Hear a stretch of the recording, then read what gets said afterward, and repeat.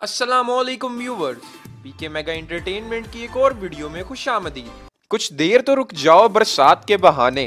नूर जहाँ की आवाज़ में गाया ये गीत, जब भी कोई शख्स सुनता है तो एक ही चेहरा जहन में आता है, जो कि खूबसूरत अदाकारा बिंदिया का है। ये मुस्कुराता चेहरा, पाकिस्तानी स्क्रीन और टेलीविज़न और स्टेज हर सू नज़र आया। बिंदिया को उनकी शक्लो सुबात के सबब भारतीय फ़िल्म स्टार रेखा से तस्वीर देते हुए पाकिस्तानी रेखा भी कहा जाता है। लेकिन सच तो ये है कि बिंदिया ने अपनी मेहनत से एक मुनफरद पहचान कायम की। हालाँकि जब उनकी पेशा वराना ज़िंदगी का आगाज़ हुआ तो उन्हें अंदाज़ा भी नहीं था कि वो फ़िल्मों में काम करेंगी। वो पहली दफ़ा एक न्यूज़ कास्टर के तौर पर पीटीवी की स्क्रीन पर नमूदार हुई। इसके बाद वो शोबीज की तरफ़ आई। आपने बहुत ज़्यादा फ़िल्मों में काम नहीं किया, लेकिन जितना काम किया, बहुत ही म्यारी किया। यही वजह है कि लोग आज भी उन्हें याद करते हैं। उनकी शोहरत का एक सबब, उनकी निजी ज़िंदगी के दिलचस्प उतार चढ़ाव और उनकी आज़ाद ख्याली भी थी, जिसके सबब वो अक्सर खबरों में रहती।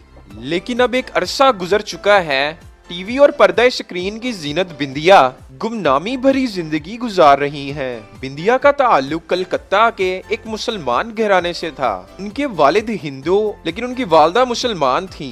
ताहम उनके वालिद ने अपने खानदान से कत ताल्लुक करके इस्लाम कबूल कर लिया और क्याम पाकिस्तान के बाद लाहौर आ गए। बिंदिया की पैदाइश लाहौर में ही हुई। बिंदिया का इस्लामी नाम रुबीना है। लेकिन वो हमेशा बिंदिया के नाम से ही पुकारी गईं।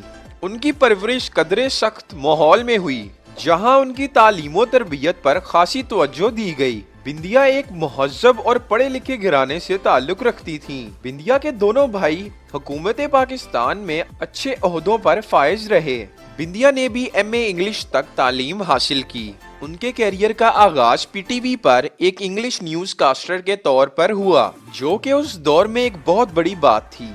इसके बाद जल्द ही वो थिएटर में काम करने लगी और वहाँ से रास्ता फ़िल्म इंडस्ट्री की तरफ़ भी निकल गया।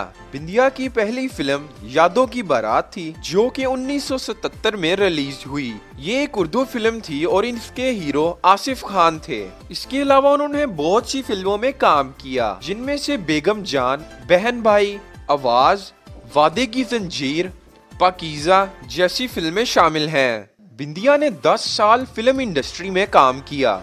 इस दौरान उन्हें बहुत बड़े स्टार्स और ब्लॉकबस्टर फिल्म्स में काम करने का मौका मिला। फ़िल्मों से ज़्यादा पहचान उन्हें टेलीविज़न ड्रामों से मिली। उन्हें एक कामयाब अदाकारा तस्वर किया जाता है। लेकिन दूसरी तरफ़ निजी ज़िंदगी में उन्हें कई नाकामियाँ देखनी पड़ी। उनकी शादी इंडस्ट्री में कदम रखने से पहले ही एक उर्दनी पायलट से हो गई थी। ये शादी कुछ सालों तक बहुत कामयाब रही, लेकिन इसके बाद उनके शोहर उर्दन वापस चले गए और ये शादी टूट गई। इस शादी से उनका एक बेटा जहान जेब पैदा हुआ। बिंदिया ने इस शादी के टूटने के बाद पाकिस्तानी अदाकार असद नजीर से शादी की। शादी के बाद बिंदिया असद के साथ अमेरिका शिफ्ट हो गई, जहाँ उनका बेटा जेर तालीम था। लेकिन ये शादी भी ज़्यादा देर ना चल सकी। बिंदिया की तीसरी शादी 2013 में पाकिस्तानी नियाद अमरीकी डॉक्टर ज़फ़र इब्राहिम से हुई। बिंदिया अपने तीसरे शोहर के साथ अमेरिका में ही मुकीम है। उनके पास पाकिस्तानी शहरियत के साथ साथ अमरीकी शहरियत भी है वो अब भी पाकिस्तान आती रहती हैं और मुख्तलिफ़ ड्रामों में अदाकारी और टेलीविज़न प्रोग्राम्स में इंटरव्यू भी देती हुई नज़र आती रहती हैं। उनका फिल्मी कैरियर तो चंद, एक गीतों के सबब बड़ी हद तक फरामोश कर दिया गया है, लेकिन उनका सेलिब्रिटी स्टेटस बरकरार है वो अपने काम के अलावा अपनी ज़िंदा दिल, शख्सियत, अपने मुनफरद अंदाज और अपने खुले डुले अंदाजे गुफ्तु से भी जानी जाती हैं। उनके बारे में मशहूर है कि जो बात उनके दिल में हो, वही ज़ुबान पर होती है। अल्लाह ताला उन्हें अच्छी सेहत और लंबी ज़िंदगी अता करे। आमीन। तो दोस्तों आज के लिए पीके मेगा एंटरटेनमेंट की तरफ़ से इतना ही। अगर आपको ये वीडियो पसंद आई है तो हमारी इस वीडियो को लाइक करें, कमेंट में अपनी राय देना मत भूलें, और हमारे चैनल पीके मेगा एंटरटेनमेंट को सब्सक्राइब करें। शुक्रिया, अल्लाह हाफिज़।